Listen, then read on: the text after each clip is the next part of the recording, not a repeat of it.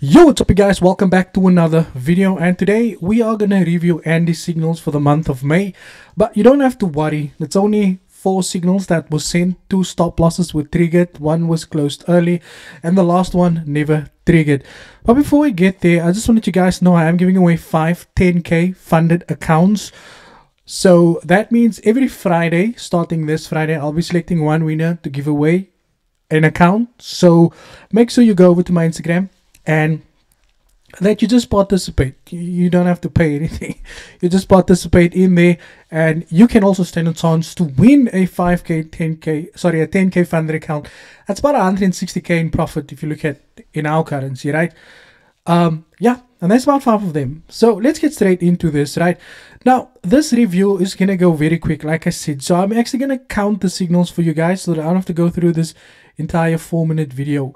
Um, for you guys actually. So there's a signal so we're gonna go through these signals right? There was one signal over there. There was a sell limit then there was a gold sell that you can see there which was that one.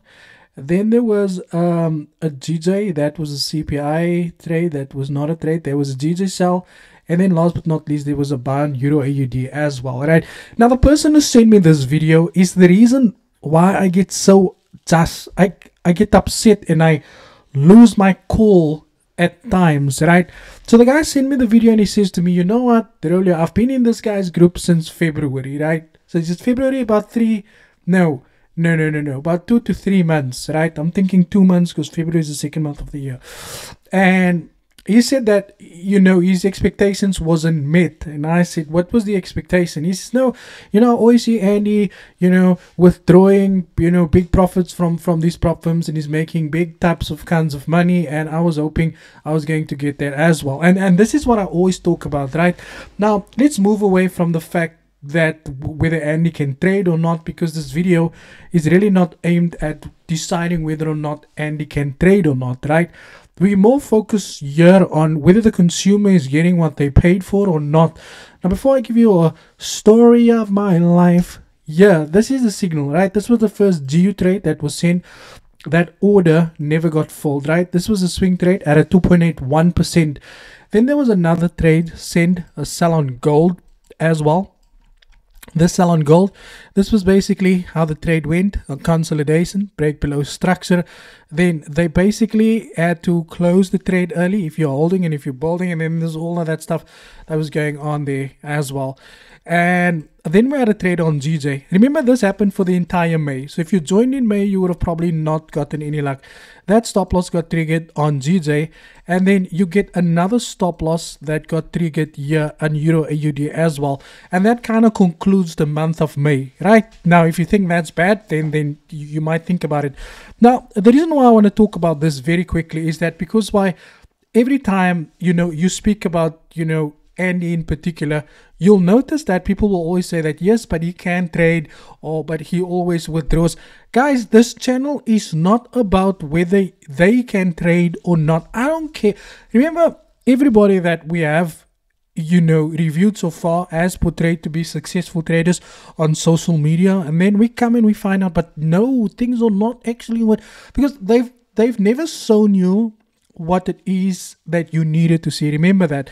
Because what they would do is, is they would take these trades based off what you want to see, and that is basically blue screens. And I always say that if we start making videos about can Andy trade or not, then I will bring up some screenshots of whether you can trade. I will bring up the, no, not even screens of whether you can trade or not. I, I will bring up you know, uh, uh, uh, prop firm certificates, and I will bring up all of that stuff. Now we can gauge can he trade, can he not trade, and we would probably come to the conclusion to say that. Now, I don't know how you guys measure, measure successful traders, but most of us could potentially agree that he can trade because he makes money through the market. What I do not understand is that how people are not capable to fall in line with him if he's the provider of these signals and that is my question that i want to ask today is that there's people in the signal group that has been there for a year two years who's not even been profitable, who hasn't had a single withdrawal. Now, I have uh, poked my eye out of the gutter for a couple of seconds, and that's probably a line that you would have heard from GTA Vice City. But okay, we're not here to talk about that, right? But think of it in this way let's move away from, and he's a goat you know, I'm a German nigga. Let's let's let's let's move away from all of that stuff, right? Let's move away from the i8 and and and all of that stuff, and ask yourself, right? As a consumer, as a person paying for a provided for a service, let's focus on the signals, not whether Andy is making 100k or not. Talk about the people who is paying for these services who's not making any money, and I still don't understand that this man is making 20k, 40k in withdrawals, but he still wants to take your 500 rand. He still wants to take your $30, but he cannot provide the results that one would be looking for. So let's assume that this is the group that you'd be focusing on, right? If you joined in May, you would have gotten nothing. You would have gotten no. You'd have came through in a negative. So my question today is that, right? Where do we draw the line? Because he's still selling signals. I thought you would stop selling signals, but no. He is still this day, he's still selling signals. And don't come here in the comments and say, oh, but Andy's. Yes, we know that with that type of. I can show you my withdrawals, uh, you know, my, my, my, my withdrawal uh, emails that I get every month, probably two or three. I posted it on my Instagram uh, uh once as well. But you know what? That doesn't justify why I can open up a signal group and take people's money for the doers. No, I always say that if you're good at trading, then do it as a standalone, right? But if you know that you can trade or if you genuinely want to provide a service, remember success is measured over a period of time. Now, it's been a long time now. Do we say that Andy cannot trade based of the fact that his signals is not providing the type of results that we are looking for in a signal provider? Or do we say that he can trade purely because he is making these big withdrawals and everybody looks up to him to be a good trader. Now, like I said before, if we were here to judge whether Andy is making any money out of the market or not, we'd probably agree with the fact that he is.